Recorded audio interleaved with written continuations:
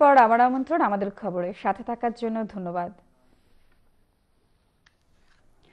বর্তমান সরকারের আমলে সুষ্ঠু প্রক্রিয়ার মাধ্যমে যুদ্ধাপরাধীদের বিচার প্রক্রিয়া সমাপ্ত হবে বলে মন্তব্য করেছে বেসামরিক বিমান ও পর্যটন মন্ত্রী ফারুক খান। স্পেন আওয়ামী লীগের দেয়া এক সংবর্ধনা অনুষ্ঠানে তিনি এ মন্তব্য করেন। বিস্তারিত থাকছে আমাদের স্পেন প্রতিনিধি শাহাদুল শহীদের রিপোর্টে। বাংলাদেশ সরকারের বেসামরিক বিমান ও পর্যটন মন্ত্রী ফারুক খান বলেছেন, বাংলাদেশে যুদ্ধাপরাধীদের বাঁচাতে জামাত শিবিরের জ্বালাও পোড়াও রাজনীতিকে প্রশ্রয় দেয়া হবে না।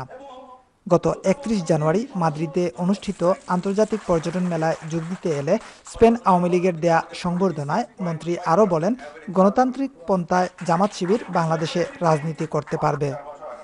জামাত, শিবির বাংলাদেশের রাজনীতি করতে তারা পারবে বর্তমান সংবিধান অনুযায়ী, তবে সেটা গণতান্ত্রিক রাজনীতি হতে হবে। যুদ্ধ অপরাজনীতিকে রক্ষা করার রাজনীতি, বঙ্গবন্ধুর হত্যাকারীদেরকে রক্ষা করার রাজনীতি, হত্যাকারীদের মদত দেওয়া রাজনীতি রাস্তাঘাটে জ্বালাও পোড়াও সন্ত্রাসের রাজনীতি, সে রাজনীতি বাংলাদেশে চলবে মাদ্রিদের স্থানীয় একটি রেস্টুরেন্টে স্পেন আওয়ামী লীগের সংবর্ধনা প্রস্তুতি কমিটির আহ্বায়ক গুলাম সারোয়ার মিলনের সভাপতিত্বে ও রিজবি আলমের পরিচালনায় অনুষ্ঠিত এ অনুষ্ঠানে বেসামরিক বিমান ও পর্যটন মন্ত্রী ফারুক খান প্রবাসীদের পাঠানো রেমিটেন্সের সুনাম করার পাশাপাশি বাংলাদেশে বিনিয়োগ করার আহ্বান জানান। সংবর্ধনা অনুষ্ঠানে অন্যান্যের মধ্যে উপস্থিত ছিলেন আওয়ামী লীগ নেতা জাকির হোসেন, মনসুর হোসেন, ফরিদ উদ্দিন আক্তার হোসেন আতাসহ স্পেন আওয়ামী লীগ ও তার অঙ্গ সংগঠনের নেতৃবৃন্দ। Shahadul Suhed channel I Spain দেড় যুগ পর যুক্তরাজ্য আওয়ামী লীগ কভেন্টে শাখার ত্রিবার্ষিক সম্মেলন অনুষ্ঠিত হয়েছে রবিবার। তবে সুষ্ঠুভাবে সম্মেলন সমাপ্ত হলেও প্রদান করা হয়নি কাঙ্ক্ষিত কমিটি। কভেন্টে থেকে ঘুরে এসে এ সম্মেলন নিয়ে বিস্তারিত জানাচ্ছে আমাদের মিডল্যান্ডস প্রতিনিধি সৈয়দ নাসির। কোনো কমিটি ঘোষণা ছাড়াই শেষ হলো যুক্তরাজ্য আওয়ামী লীগ কভেন্ট্রি শাখার ত্রিবার্ষিক সম্মেলন। দীর্ঘ আঠারো বছর পর গত তিন ফেব্রুয়ারি স্থানীয় মুসলিম সেন্টারে শাখার সভাপতি মকদ্দস আলীর সভাপতিত্বে ও শাখা সেক্রেটারি অনরুদ্দিন জাহিদ ও আব্দুল মুকিদ চৌধুরীর যৌথ পরিচালনায় সম্মেলনে প্রধান অতিথি হিসেবে উপস্থিত ছিলেন যুক্তরাজ্য আওয়ামী লীগের সিনিয়র সহ সভাপতি জালাল উদ্দিন। বিশেষ অতিথি হিসেবে উপস্থিত ছিলেন যুক্তরাজ্য আওয়ামী লীগের উপদেষ্টা পরিষদের চেয়ারম্যান শামসুদ্দিন খান।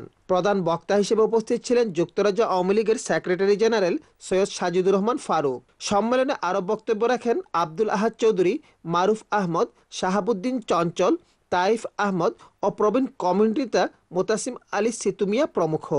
সবাই বক্তারা বলেন, আওয়ামী লীগ উন্নয়নে বিশ্বাসী।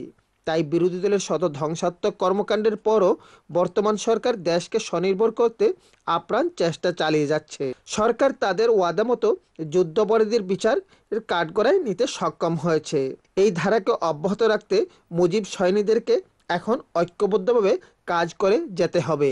দীর্ঘ আঠারো বছর পর এই সম্মেলনে সবাই একটি নতুন কমিটি আশা করলেও সভাপতি ও সেক্রেটারি পদে একাধিক প্রার্থী থাকার কারণে কোনো সমঝোতা না হওয়ায় কমিটি ঘোষণা করা হয়নি। আগামী কিছুদিনের মধ্যে যুক্তরাজ্য কেন্দ্রীয় নেতৃবৃন্দ নতুন কমিটি ঘোষণা দেওয়ার আশা প্রকাশ করেছেন। কমেন্টি থেকে সৈয়দ নাসির চ্যানেল